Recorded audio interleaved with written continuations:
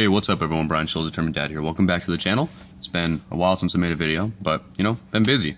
Whole family got sick for like a few weeks, uh, which was pretty intense. I mean, I haven't been sick in probably like four years, so it was, it was pretty debilitating, but, you know, we came through it. Everyone's happy, healthy, uh, and so everything's, everything's good. But today I just wanted to talk real briefly maybe not so briefly. I don't know. We'll see how long this goes. But wanted to talk about a topic that I'm passionate about, and it's kind of a sensitive topic for a lot of people. But it is financial stability, uh, especially in your household, right? Like as a family unit, just so family finances, right? Uh, so my wife and I went yesterday, and we did our taxes, and it was great, right? Everything went perfect, and kind of, I mean, better than I thought it was going to go. And over the last year, I've been learning a lot about just the US tax code and, and how taxes work, right?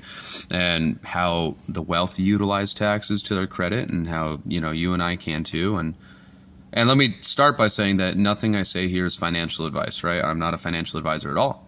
Uh, I'm just a dude. And so I'm just saying that what has worked well for us, right? So to to explain our situation a little bit, right? My wife and I were talking about this. We were talking about how, you know, how blessed we are and how thankful we are in in this regards because you know so we're living in we're living in Arizona. Uh, we're living about 45 minutes outside of Phoenix, roughly, and my wife's a stay-at-home mom, and I work, right? So we're on a single income, uh, growing family, in a house, have a mortgage, all that stuff, right? And we were talking about how like we really are living like like a dream, you know, like like what like what people would call like the American dream, right? We're both busy as heck. We're always doing something. You know, from the time I wake up, I woke up 2 hours ago at 4 at 6, right? Like we're both always doing something. But when we take a step back and look at it, it's it's what people would call the American dream. And we're fortunate enough to be living it right? And it is possible. And I think that finances, money, it's something that people are really sensitive to talk about because if you're not doing the best or if you're not doing as well as the person you're talking about with it, it it just kind of it's a it's a crappy conversation, you know. It just kind of sucks. Like like if you're talking with like let's say you're 25 and you're talking with like a 65 year old, right? And they're talking about how everything was back when they were 25 and how they had a house or a duplex, right? And they were able to like push lawnmowers and pay for college or, or whatever, right? Um, it just, it makes you feel so inadequate because of where you are and where society is right now, like when you're 25. And it doesn't translate, it doesn't correlate, right? So I think when approaching finances and money, there's like a journey there's like it, it's a journey that you take, right? There's a ton of videos on YouTube about just how to get rich quick or like investing in this crypto, investing in that thing, doing this drop shipping, whatever. There's like tons of nonstop videos about how to just do one thing and then be set for life, right? And you know, it's true that you may you may catch lightning in a bottle once, right? Like you may find the one thing that gets you money quickly. But if you don't have a principled outlook on money and how it works and what it is and how to use it, then even if you catch wealth quickly, you're just gonna over time you'll lose it. All right, like you're not you're not just gonna keep again catching lightning in a bottle every single time your money's low just to spike back up, right? So the journey that I took, I wanted to share a couple books with you guys about just where where I went to, the knowledge I sought to kind of get where I am, right? And I wanted to start with this book. So, Total Money Makeover by Dave Ramsey, right? So, again, this is a journey, right? So, if you know absolutely nothing about money and how it works, let's say you're like the average American that's got like a $1,000 in their savings account and just submerged in debt, right? Credit cards, mortgage, car payments, on and on and on, student loans, whatever. If you know absolutely nothing, about money and if you want to actually turn your life around to get better at it, I would highly recommend uh, this book, right? Again, Total Money Makeover. So we'll we'll get to the flaws of this book in a second, right? There's a lot there's a lot of information in it that's outdated, in my opinion, that doesn't really work in today's marketplace. But the core of it, I think, is sound, where he pretty much talks about like, hey, you know, uh, the seven step plan. He goes through a seven step plan. Like, okay, you know, get this much money as an emergency fund in your house, right? And then get this much money as an emergency fund, like save up some money for like six months of expenses if you lost your job tomorrow. Okay, great, right? And then line up your debts. He goes through lining up your debts, like smallest to biggest, and start knocking out the smaller debts first. So, all that I think is really great because when you are straddled with too much debt, you know, not just like a house, right?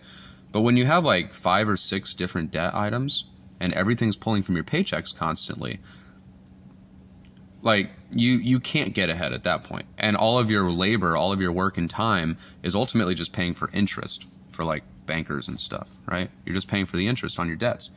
So you end up in like this vicious cycle. So you have to knock the debts out before you really start accruing wealth. A lot of debts have to go away, you know?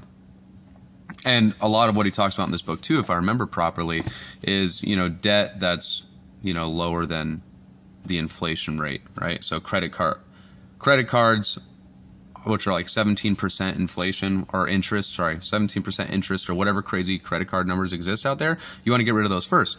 If you have a mortgage that's at like 2.5% maybe you got it like a year or two years ago you have 2.5% interest rate on your loan then you can leave that around a while right? So I don't want to ramble too much about this book, but if you know nothing about money at all, this is a great place to start your journey. Again, Dave Ramsey, Total Money Makeover. Okay. This video is going to be a while, so buckle up or leave. I don't care. So the next book on my journey here, after I read that and I kind of started doing those steps, and then you hit a point with the seven step plan where you're like okay well now he's basically told me to like he literally says in the book to like eat rice and beans if you have to to save up money for a down payment on a home which is unrealistic. Like you're not really in today's environment just going to save up. I mean what's 20% on a home nowadays? Like $100000 it's very difficult just to get $100000 cash just by working one job with a single income right? Very hard to do that. So that's kind of where in the next step of my journey um, you read Rich Dad Poor Dad by Robert Kiyosaki, right? Again, like preface this every book has its flaws. You don't just take everything in every single book as gospel. You have to discern, you have to trial and error different things, right? Just figure it out. But in Rich Dad Poor Dad, he breaks down a lot of like the economic terms in their basis, right? Like like what is an asset, what is a liability, uh, things like that. He talks about investing, uh, finding ways to create money out of nothing, starting businesses, things like that. And so it gives you a lot more once you've learned like once you're at a place where your debts are in control and you have some breathing room, maybe you have that emergency fund, and you're like, okay, cool. Like, I have a mortgage payment, I have some debt, like, okay, but I'm making more than I'm spending. That's what Dave Ramsey helps with, right? Okay, great, cool then you can kind of stop at his step five or six or whatever it is, right? And you can say, okay, hey, all right, now I want to exponentially grow. So that's where this book really helps you out with, is it teaches you if you read it again, right? Like all this takes reading, and if you're not willing to read to learn, to make yourself better, to grow, then there's nothing anyone's going to say that's going to help you, right? Like you have to put the time in to read these books or to do something, to go pursue a mentor, whatever. So yeah, so Rich Dad Poor Dad uh, teaches you pretty much all about that just exponential growth in money, investing, assets, liabilities, um, getting your terminology straight, and so that you can like learn the language of money. And then it also breaks down the different categories of people, right? Like you're either an employee, you're a business owner, you're a corporation, you're an investor, whatever, right? It, uh, you know, E, S, C, and I, or whatever the different letters are for his little diagram that he's got in there. But it really like oh, you're like okay, you know, breaks it down. Like all right, if I just stay an employee for the rest of my life, if I only work one job earning one wage, then I'm not going to be as financially stable or as financially free as if I maybe was a business owner or if I was an investor or if I was a corporation, right? So it kind of goes into that, right? And so this is like an amazing gateway book into just understanding some aspects of finances that people just don't teach, right?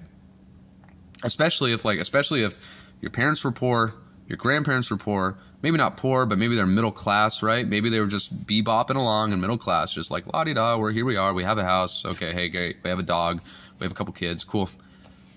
But then now, as things are getting more and more difficult, like if you were that middle class, you can't keep doing the same thing your parents were doing and expecting that same quality of life, right? You have to shift. You have to be dynamic. So, okay, enough about this book, right? So then you're at that point, right? Where your debts are down low. You got maybe a mortgage payment if you have that. Otherwise, no debt. And you're starting to invest. You're starting to tinker around a little bit. And you're kind of figuring out, okay, all right, sweet. You know, here's how investing works.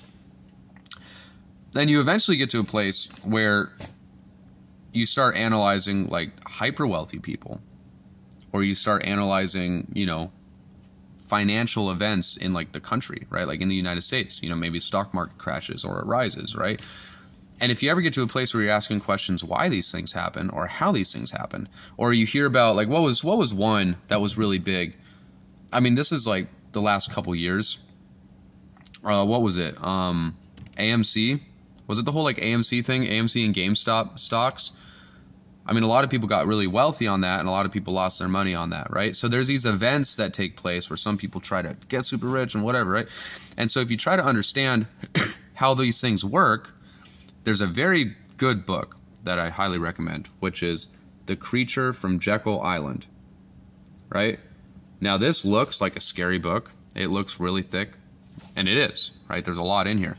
But at the very beginning of it, the author tells you, like, hey, um,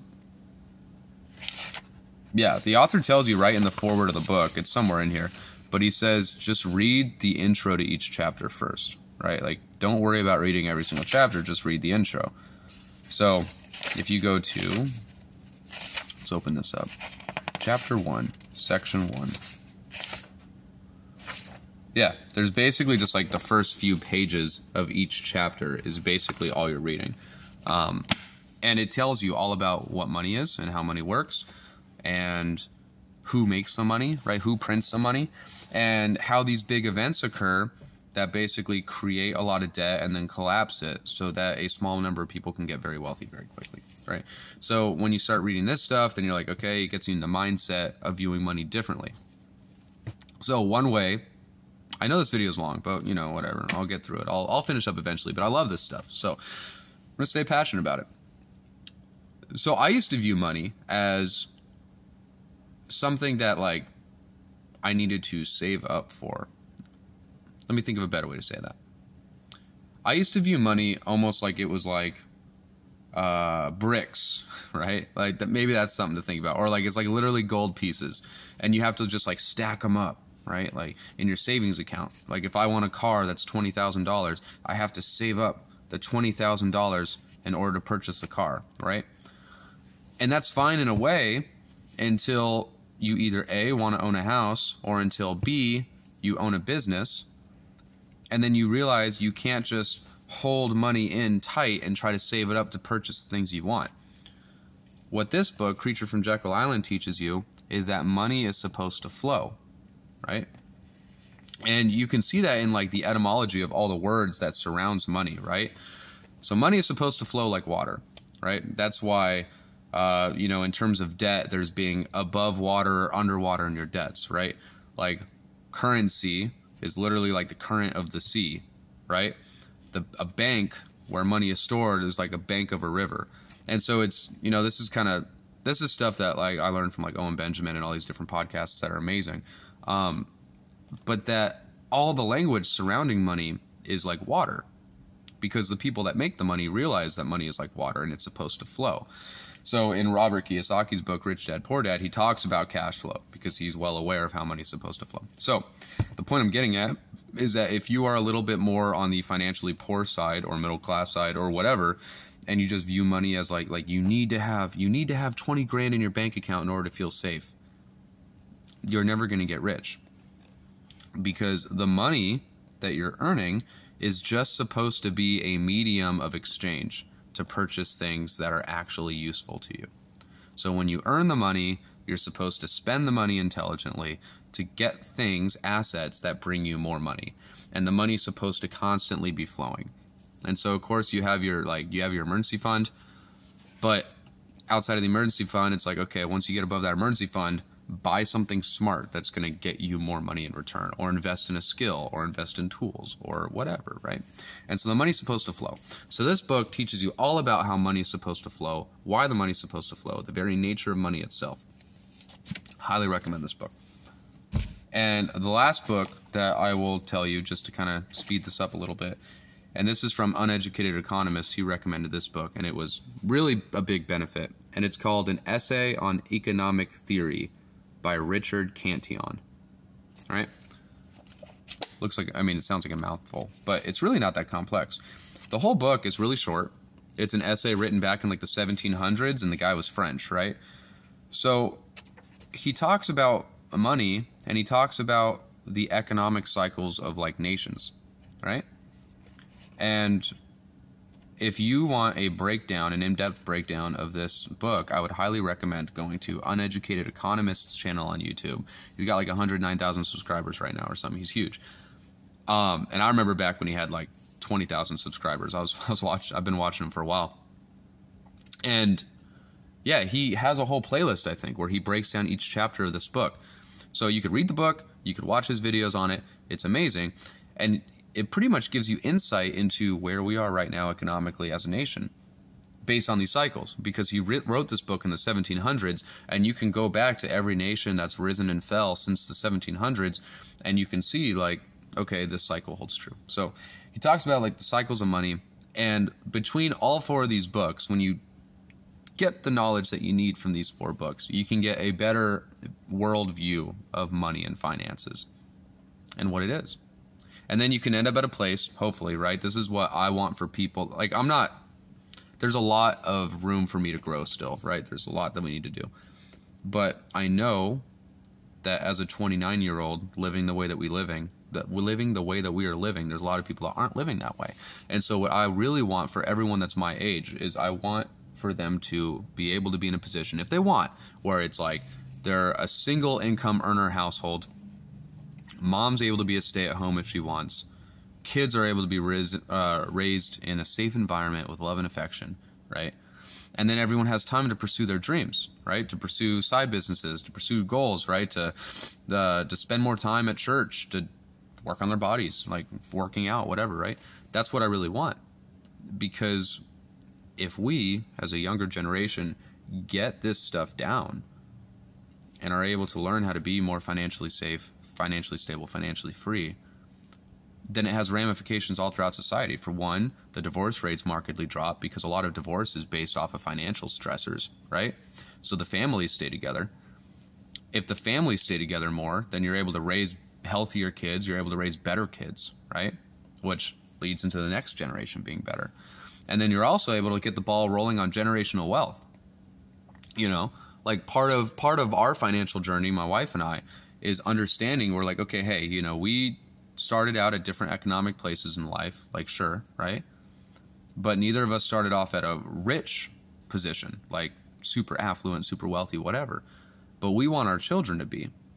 So, if the goal in the pursuit of our life is to lay the foundations, to learn the knowledge, to pass it on to our kids, to get the ball rolling, so that there's something for us to leave to our children when we die, then maybe our grandchildren can be the multimillionaires that have like seven kids and own multiple businesses, right? Like we can we can get our family name to that place even if it's not us personally. And of course, all of this is ultimately in the pursuit of making ourselves better people, being able to help people, and just doing what we feel called by God to do, right? Like I feel called to raise the strongest family I possibly can.